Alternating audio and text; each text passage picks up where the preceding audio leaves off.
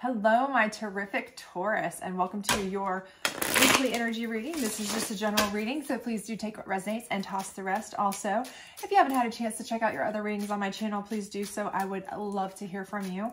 Uh, please do not forget to hit that notification bell. I'm putting up love readings this weekend, and I know you want to know what kind of love sitch you have going on. So without further ado, let's get in here. Just don't forget that like, subscribe, share, notification, all that great stuff. I'd appreciate it. So let's hit it, shall we? Let's see what your week and weekend is going to kind of look like going forward as we go along here.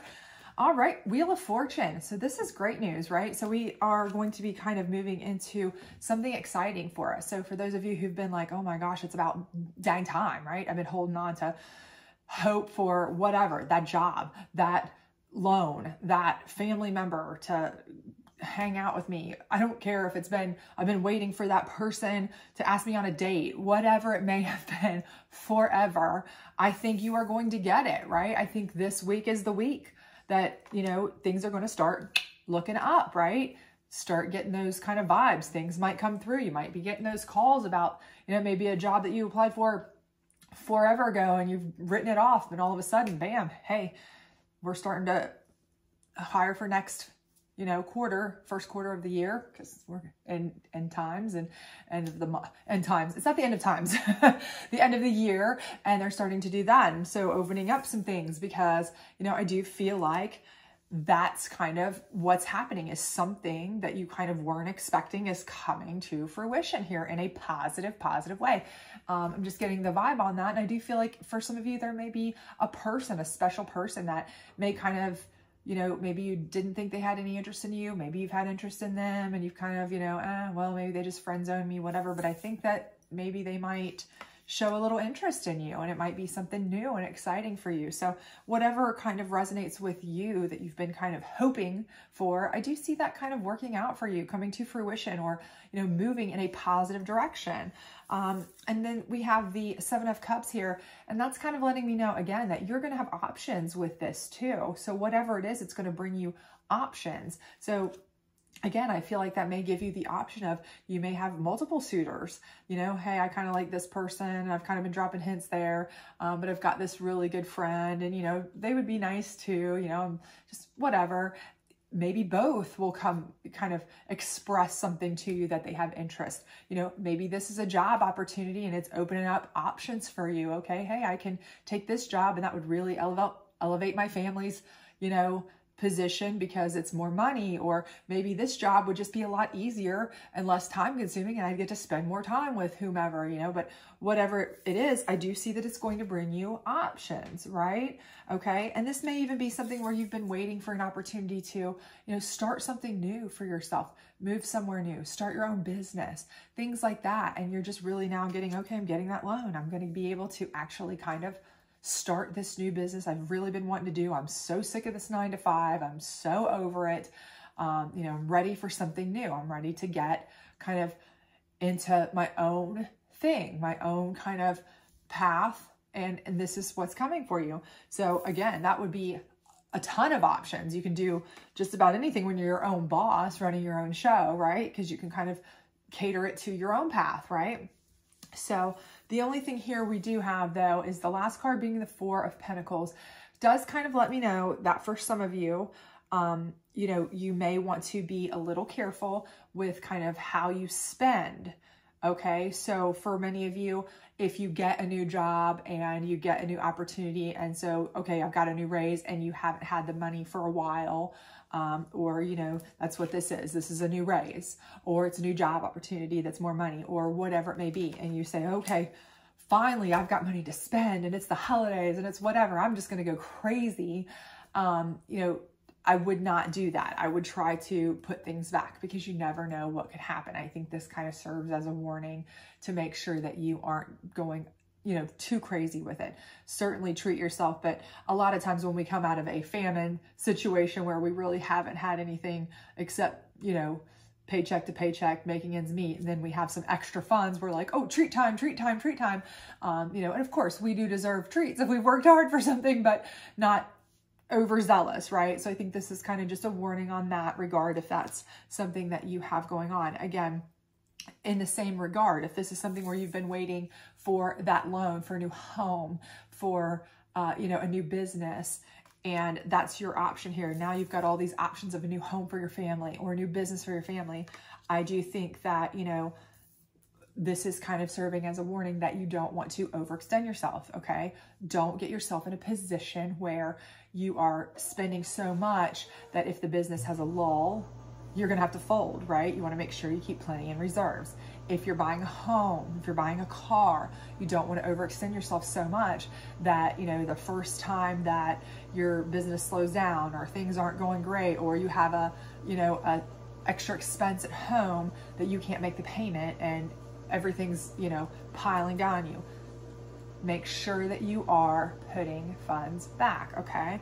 And so I do think you are going to get some extra fortune here, uh, whether it's a cash injection, whether it's the person you need in your life, whether it's, you know, uh, job money, bonuses, you know, raises, new opportunities. I think you're going to get that. I think it's going to open up a lot of options for you, but you need to be careful that you are also taking precautions because when you take options, a lot of times those options do come with, um, you know, a little bit of startup, you know, a little bit of stepping back, making sure that you are being careful uh, because you just never know, especially in today's economy, which way things are going. And for those of you who this is about a relationship, you know, one thing I would say is that relationship can open up a lot of options for you. And maybe that person wants to move quickly, you know, move in together. Maybe that person wants to, and that may not even be quickly for you. This may be a person you've been friends with for a zillion years and it's just now becoming a relationship, but you've known them for a million years and you've been like, someday, come on, right? Um, and now they want to move in and you're like that's great. How could that cost me more money? Because cohabitating is cheaper for the most part in this economy than living apart. But again be careful that you're conserving your money while you're doing that because you don't want to get comfortable if things don't work out. Bam you know? You need to make sure you have your own funds put back for you know such a time or just in case right? Uh, a lot of times dating someone, being with someone is not the same as living with someone, you know, just these kinds of things, okay? So just let that serve as a warning. Just be careful with your funds, okay? Let's see what your challenge card is going to be. But I do think I see that you are going to be coming into some fortune for sure, whatever is considered your personal fortune uh, right now, your happiness, your joy, what you've been looking for. Um, and I do think that it's going to open up a lot of options for you that you're going to find very helpful um, the Empress card, okay? That is your challenge card. And I think for you, that really is your own personal energy, okay? I feel like you are a person who is a very nurturing person. I feel like you're a person who wants to definitely kind of help everyone around you. You want to see them excel, you want to see them grow, flourish, things get better. And so I think you are your own worst enemy in that you want to see everything flourish around you, but sometimes, you know, even if you are wanting to nurture that relationship, okay, maybe you're putting yourself at risk. Maybe you're the one signing the lease. Maybe you're the one who is, you know, paying the deposits, things like that. And that can get you into some financial situations, okay? Again, you may be the one who is nurturing everybody in the house with this newfound financial freedom, perhaps, with if you got the loan, you want to provide them the best home, the best car, the best whatever, okay? If you got an extra bonus or uh, raise at work, you want to spend it on friends, family, whatever to watch them grow. But unfortunately, the thing is, that just because you have all these options doesn't mean you need to take all the options, okay? You can be your own worst enemy there and it can be to your detriment, okay? You do not want to spend it all, spend it before you got it or put yourself in a precarious situation because it's only going to hurt those around you, including yourself. Okay. So just keep that in mind. Okay. Be moderate in what you do with any of your fortunes, however you are fortunate, whether it's in love or in finances. Okay. As the Empress, so that you're not, you know, counteracting the fact that you just got, uh, you know, a good positive thing happen to you. This is the Psychic deck. Let's go ahead and pull one on your Wheel of Fortune and see if we have any sort of information here. So we have disruption. Okay, so I think what this is saying here is that this is, I don't think this is a negative perhaps, but what I do think is that this can cause disruption. I think this is a warning card for you. The psychic deck warning card is basically telling you that this Wheel of Fortune can cause disruption, okay, if you let it, okay? So there can be an opportunity here. Again, it's going to provide you and present you with a lot of opportunities. It may be a cash injection. It may be, you know, positive uh, work opportunities. It could be somebody there, but it could also cause disruption in your life. Okay. It could change the way that you're looking at things. You may have to move for that job.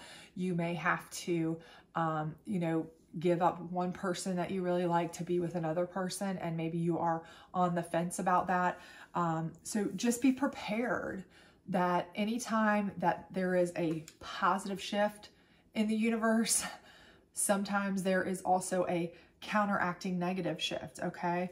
So just because, you know, again, that things seem to be going great for you, um, you know, it could be a disruption to someone else. So if someone else is kind of acting out, right? One of your friends who didn't get the promotion, one of your friends who didn't get the job, you know, don't take that too personally, but also don't flaunt it in their face. Don't go overboard with things like that. Same thing with if, you know, you choose one person over another, um, you know, and exes are coming in or the other person is upset um, and you're lucky in love there, that could cause a disruption to them. Try not to, you know, try to be sensitive to everyone's feelings, okay? So let's see, we've got the uh, moon deck here. Let's check what we've got on the Empress and the Seven of Cups. So I do feel, again, like you're going to have many opportunities, many options, but again, you want to take the option that is going to not be to your own detriment. So don't don't go overboard. Okay, that's all I I can say there. Self love. Okay, and again, I think that is saying that you need to make sure that you are practicing self love in that you're showing restraint. Okay, because if you go overboard with trying to please everybody around you because you are a nurturer, because you are someone who wants to love everybody and show everybody love. You want to buy them the biggest house. You want to buy them the biggest car. You want to spend all your raise money on them or your bonus money on them. You want to, uh, you know, do everything for this person that you are now in a relationship with, including sign on the dotted line for the, you know, mortgage or lease, pay the deposit, whatever it may be um, you know, that's all nice and kind and wonderful, but at the same time, you're not really protecting yourself, okay? And in the end, you could really be draining yourself dry, right? And that's not going to help anyone, right? Especially like if you're getting yourself in a situation where they start depending on you for this stuff and then you can no longer provide it because something happens, something comes up, you can't exactly keep up the pace of what you've overextended on perhaps. And that disruption can cause your self-love, the lack that you're giving yourself to cause everybody to be disrupted, right? So, and that's certainly not what you want to do. You don't want to disrupt everyone around you and yourself, right? I mean, you may be a very selfless person, but think about how it could affect everybody else if they start depending on you for these things that you want to provide them because there's always a possibility that if funds run short and here's i think a warning to you that that's always a possibility keep that in the back of your mind then what right so by practicing self-love you are making sure that you are protected and by protecting yourself you can protect others right just like on a plane put on your own face mask first because if you don't and you pass out, how are you going to help anyone around you? You can't, right? Okay, keep that in mind. So let's pull a last card here. This is just a general uh, advice card on the Four of Pentacles and see what we've got for you. Hopefully we have some good final advice to close you out here and see what we've got. Take responsibility for your life as a creative adventure. How can you live with more meaning, integrity, and truth? And again, I think that's just exactly what we're saying here. You need to take responsibility for your life, okay? But responsibility for your life in that you need to be responsible, okay? Not saying that you're not responsible for everything and everybody. I think that you're almost too responsible for everything and everybody. But what you need to take responsibility for is yourself and taking care of yourself. I think that's why, you know, it's falling right under self love And it's right here next to the Four of Pentacles because it's telling you you need to make sure that you are protecting yourself, taking responsibility for making yourself a priority, taking care of responsibility in that you need to make sure you are secured. And by securing yourself, you will secure everybody else around you, okay? And then you won't be battling your own self to try to constantly keep up with taking care of everybody in a better way all the time. Better, bigger, better, better, better, more, more, more. I mean, you're just going to wear yourself out like that, right?